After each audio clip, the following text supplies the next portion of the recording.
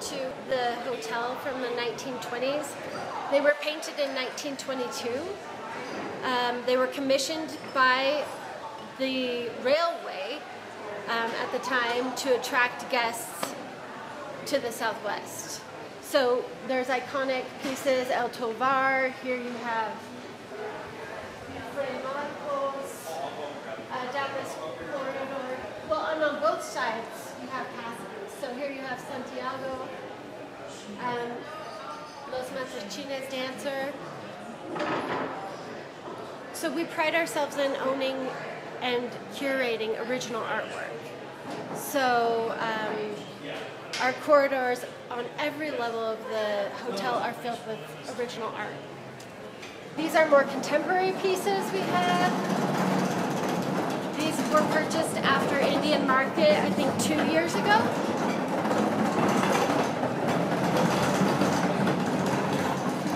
These are painted windows. So you'll see they surround the entire restaurant. These were painted by an artist, Ernesto Martinez.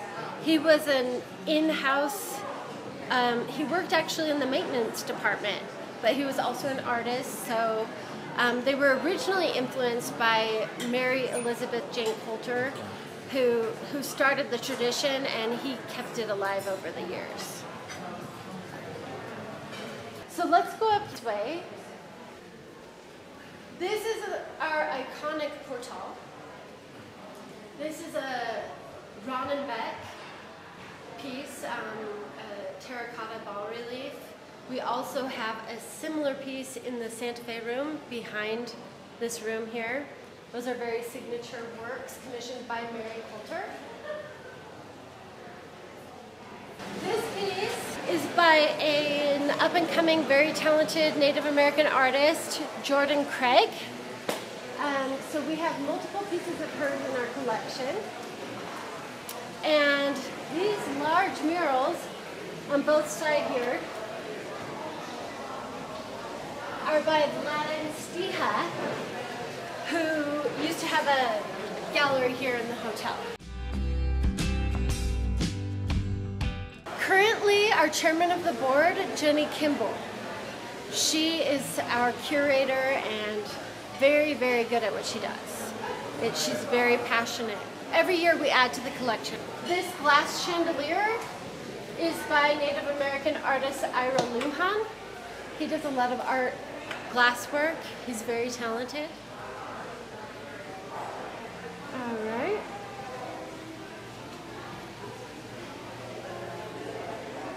This is a very interesting triptych that was a piece by Marla Allison, Mateo Romero, and Ryan Singer. And they worked on it together, and you'll see that they're blocks. So they're meant to be interchangeable, so you can incorporate different works in different panels. Um, so a couple years ago, they, they put it back to the original, um, but there's times when we'll just change out the pieces. The artists will get back together and change out the pieces again. So you'll notice everywhere you look in La Fonda, there are artistic details. So essentially, it's like walking through a piece of art. Um, this tin work is very traditional to New Mexico. And um, as we did the guest room renovation of the hotel, we incorporated these details. It's actually a Spanish comb painting style, but you'll see that this is introduced to every uh, guest room. So you have the comb painting, just another artistic element. This indicates that it's a guest room, and then you'll see when we um, walk by the meeting rooms, they have different panels around it to indicate that it's a meeting room. These mirrors are, they were commissioned by Mary Elizabeth Jane Colter, and we have them throughout the entire property. Each of our guest rooms um, has original art. Stairwell here.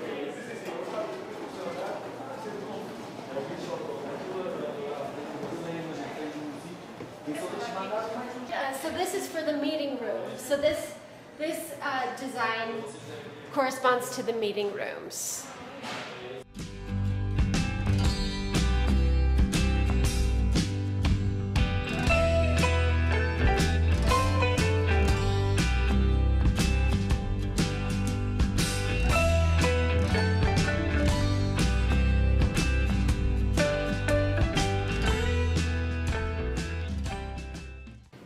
Celebrate our centennial, we put these panels on the elevator and tried to kind of share a little bit about what the story is. So this is, um, look how small the beds were. This is an original headboard. Um, and I'm not sure who the artist here is specifically, but original to the hotel. Laundry chutes. Gorgeous hand-painted details.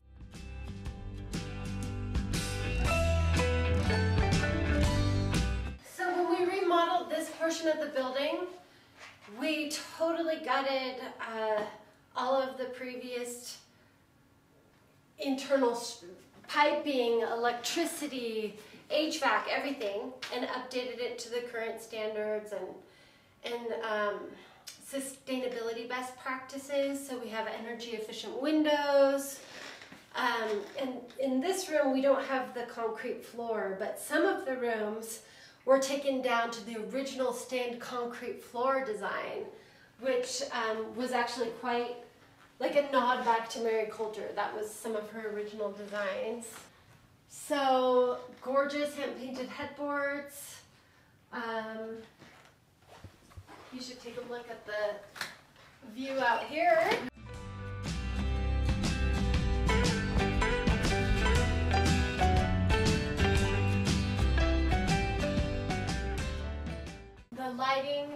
Fixtures are a nod back to Colter's original designs, and we commissioned the work, all of the work by local artisans. We have colcha embroidery on the curtain. This is very traditional to New Mexico. Again, the lighting inspired by Mary Coulter, the new lighting that we installed. Uh, the carpet also we worked with uh, local Native American designers, one of them being Brian Vallo. Um, he assisted with the renovation and hand painted many of the headboards in, in the guest rooms.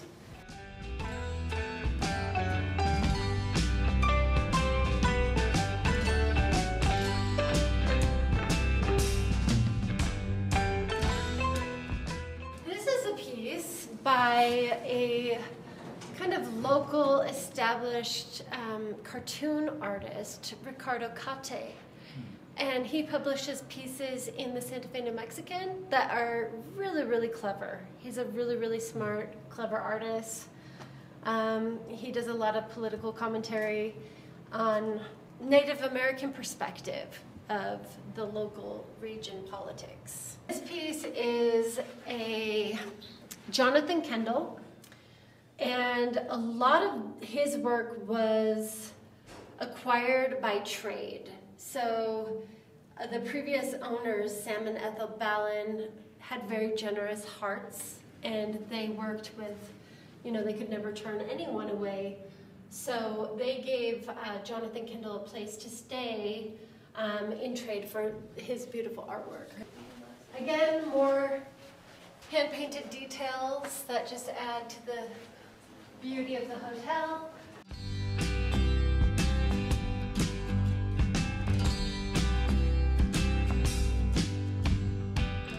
So I'm taking you to the Terrace Inn at La Fonda.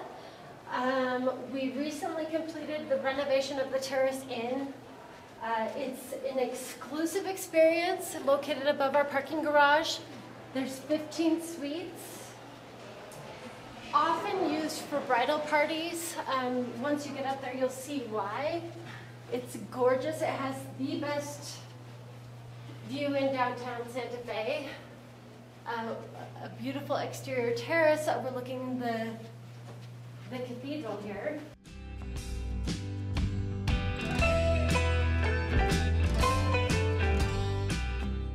There was one weekend, we had four weddings booked in one weekend. Um, so it's common to have, this space is booked pretty much year round, but we can do weddings not only up on the terrace level, we have the Santa Fe room, we have the largest ballroom in Santa Fe, so there is plenty of opportunity and space.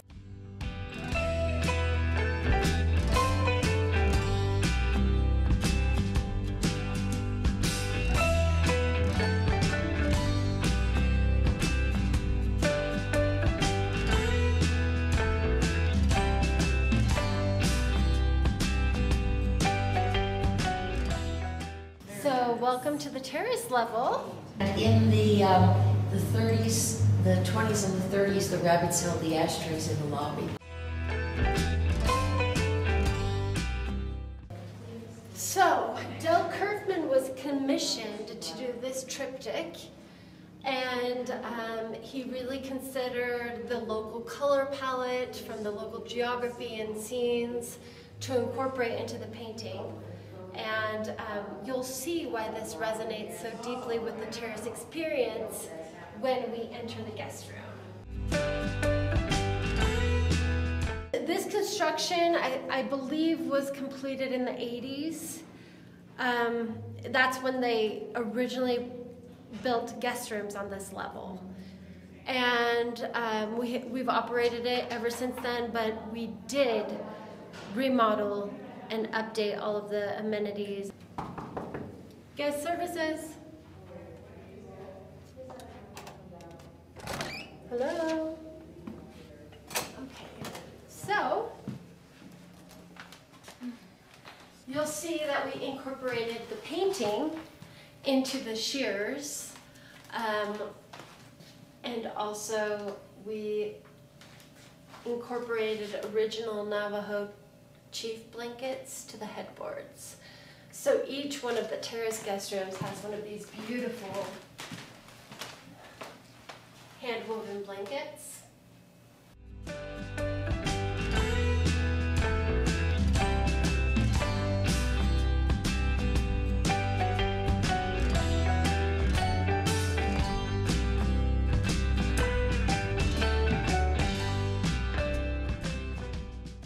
So the terrace um, in guest access to this private hot tub area. It's quite tranquil, peaceful.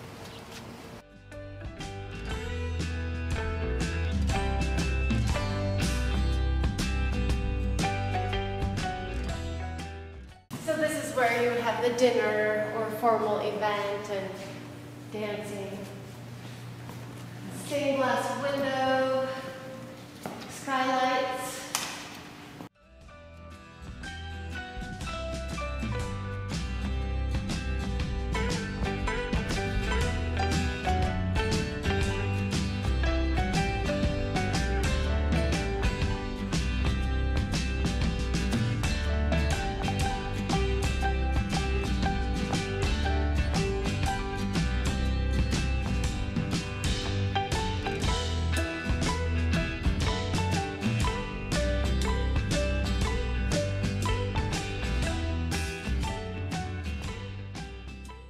This is Fray Marcos.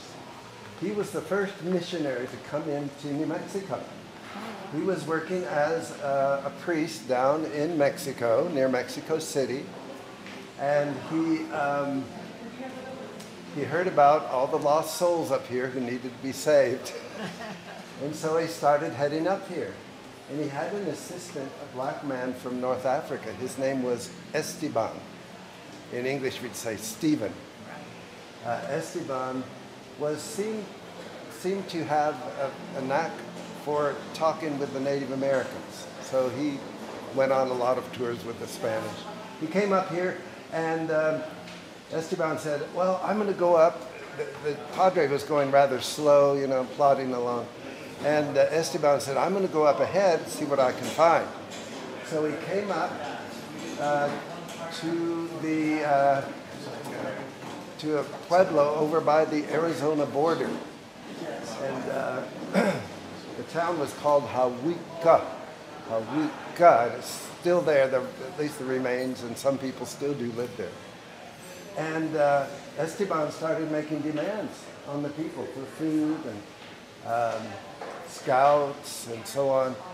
Anyway, he started making demands, and the Native Americans killed him on the spot. Word got back to the Padre, and so he went up there just close enough to see the village. Then he hightailed it back to Mexico. And that would be the end of the story, except that uh, the Spanish were exceptional at writing reports. If you were clergy or if you were civil servant, you spent most of your time writing reports. And of course, you elaborated on them as much as you could. So we know the rest of the story. Um, guess who would read that report but none other than Coronado, the great conquistador. Yeah, so he brought an army up here and he stayed two years. He was looking for cities of gold, rumored cities of gold. And um, the Native Americans were really smart. They say, go five days that way and you come to a city of gold. So he'd take off. He'd take off and go out. And then he'd discover it was a hoax. Then he'd come back and try to punish the people who told him to go that way. Anyway, that was his experience for two years here. He totally displaced one pueblo of all the people who lived there, so his army could stay over the winter. So that was the type of thing that was going on when the Spanish were coming in. Then he went back home without any gold in his pockets. Uh, Buffalo Dancer, the hotel has about 15 or 16 paintings by this painter. His name was Gerald Cassidy. And uh, he used oil paint on paper. And uh, he was commissioned by the Atchison, Topeka, and the Santa Fe to make these large paintings, and they used them as posters uh, in train stations to encourage people to come to the Southwest on the Santa Fe Railway. So uh, quite, and he's one of those who uh, helped start the huge art colony that we have here in uh, Santa Fe today. About 300 art galleries here.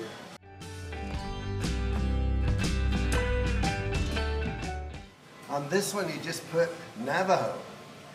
And uh, I, am quite sure this was Chief Narbona of the Navajos. He was still quite well known when the painter was painting. And uh, the Navajo tribe is the largest Native American tribe in North America today. They count 300,000 tribal members. And the Navajo Nation straddles New Mexico and Arizona and a little bit of Utah. It's a huge area. If you go visit them over there, they like to say, the Navajo Nation is the size of West Virginia or Maryland, any of those smaller states in the east. So uh, Gerald Cassidy, Navajo. Folks, if you look at the pottery over the door here, these are from different tribes. Um, I think the black one is the most interesting one. It's a wedding vase during the wedding ceremony. The bride drinks out of one side, the groom drinks out of the other. And that's from the San Ildefonso tribe over on the uh, Rio Grande. You see a bear paw print in the front of that black one? That's for good luck among the Pueblo Indians. And you see a piece of turquoise there. That is uh, very important because for hundreds of years, this is where the world got its turquoise. We have turquoise mines south of the city in the Cerrillos Hills.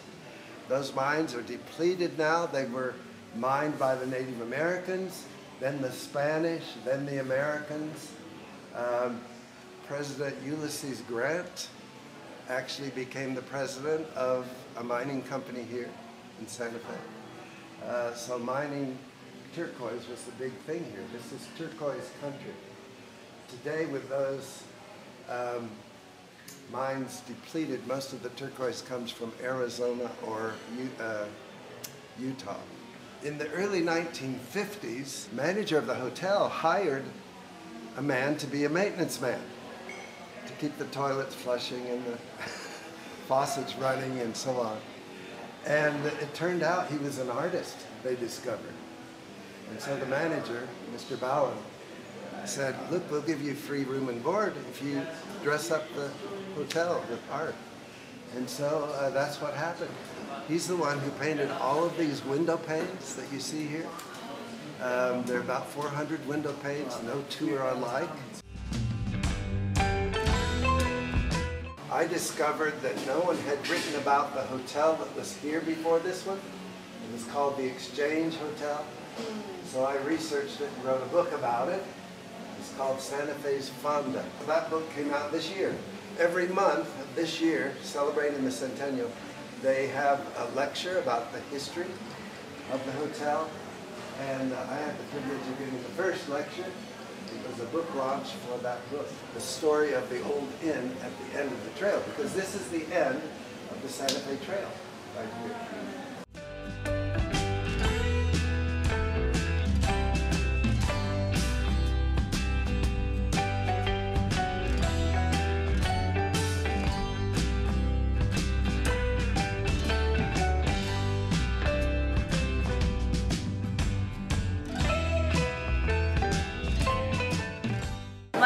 Carol Anglin, and I've worked here for 30 years, um, mainly in La Plazuela. And um, you know, La Fonda is such an amazing place. I mean, look at it. Why would you go anywhere else?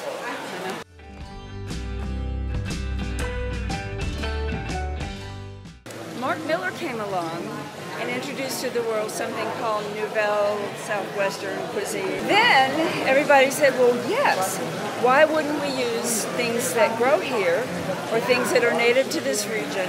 And why wouldn't we incorporate what they actually did was created a beautiful hybrid called Northern New Mexican cuisine, which, which had always existed in these northern mountains.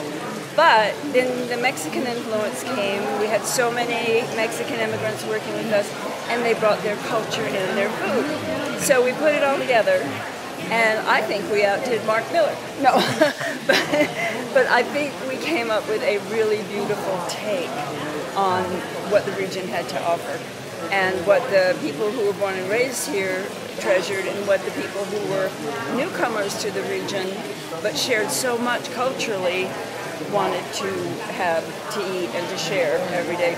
So then it started to radically change, you know, and everything all of a sudden had chili in it. and people would come and they'd go, oh, we can't eat that, it's too hot. but it, it, it, we certainly learned how to temper it for their palates. I guess in the old days when it was a Harvey House, if you ordered a dish with chili, they always brought you a little bowl of sherbet on the side. But now I'd say we're, we're a combination of what's trending and what's come to be known as more healthy, what's local, and what's sort of treasured by the native cultures here. And so, you know, I couldn't tell you any one thing that stands out. They all stand out in my mind. We have so many favorites. For example, the chili rellenos. People will travel miles to eat those chili rellenos. so anyway, yeah, I, you know, it's been in the 30 years I've been here, I've seen it more. But I think what it continues to do is become more friendly to what's regional and culturally, you know, acceptable. So that's a good thing.